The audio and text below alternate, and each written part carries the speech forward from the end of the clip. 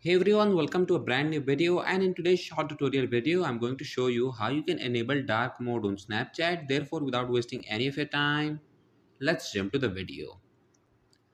First thing you need to do is to go to your phone setting.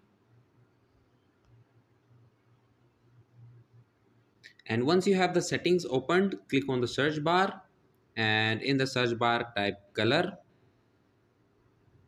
Then select color inversion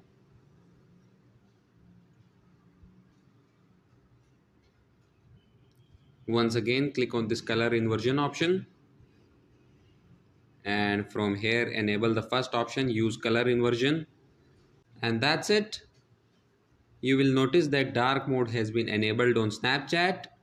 Okay guys that's it for this video. And if you guys have any question regarding this video then feel free to contact me on instagram. I'll give the link somewhere in description below also, if you guys like the video, then please make sure to hit that like and subscribe button. I'll keep a like aim of 50 likes on this video. So help me achieve the target too. And I'll see you guys in the next video. Peace out.